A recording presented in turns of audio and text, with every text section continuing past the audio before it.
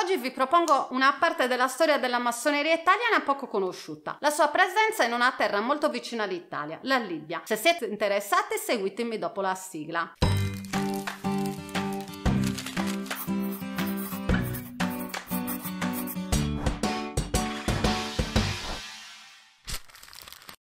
Cari tutti, il mio nome è Emanuela, sono una storica che si occupa di storia della massoneria.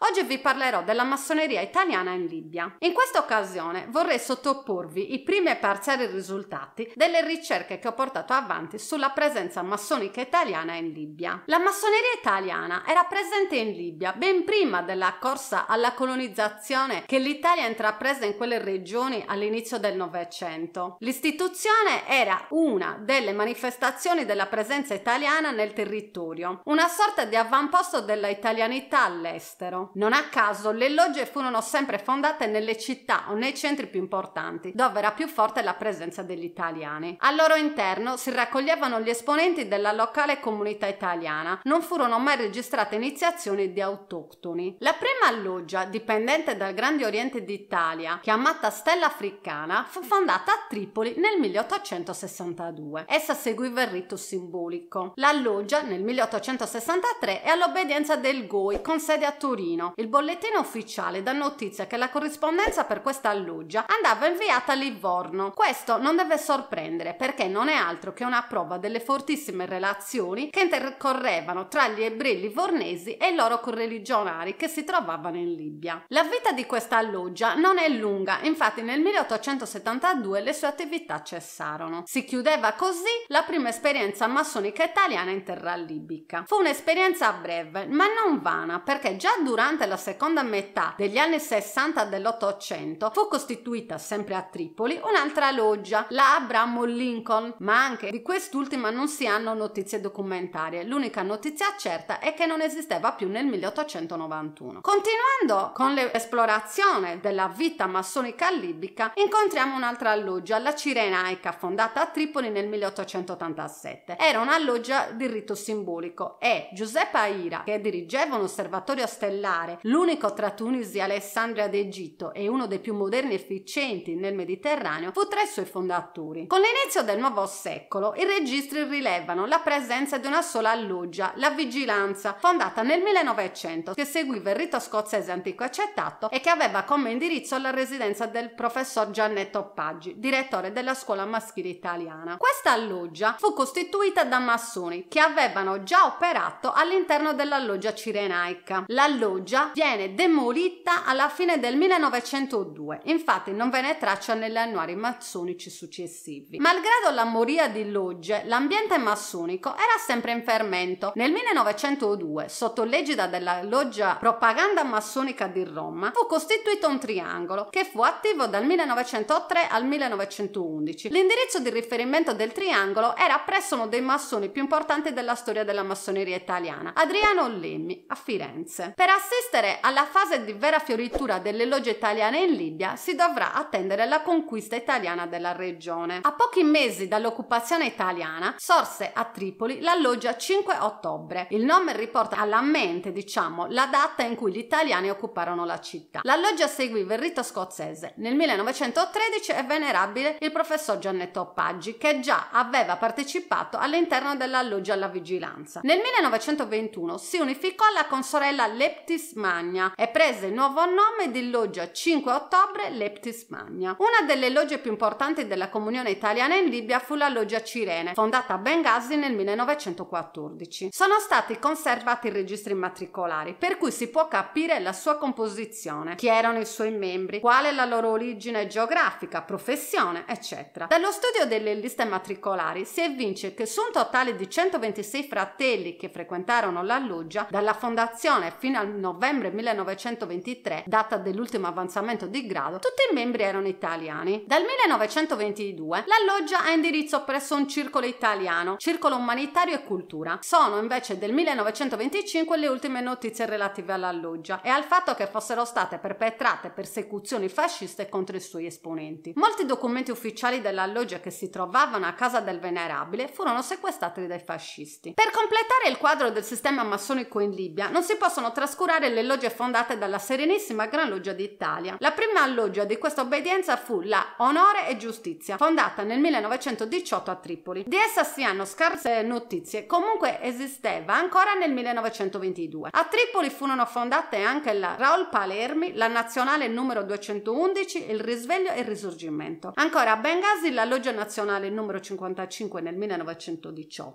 la Polema nel 1921, a Derna la Loggia Gabriele D'Annunzio costituita nel 1922, la Loggia Nazionale numero 137 fondata nel 1922, a Homs nel 1921 fu fondata la Loggia Lebda. Come le logge del Goi, anche quelle dell'obbedienza di Piazza di Gesù attingevano i propri adepti dalla sola comunità italiana ed erano dislocate nei principali centri urbani. Grazie per aver seguito questo video. Se ti è piaciuto l'argomento ti prego di mettere un like, di iscriverti al canale YouTube, di cliccare anche sulla campanella delle notifiche in modo da rimanere sempre aggiornato sui video. Grazie!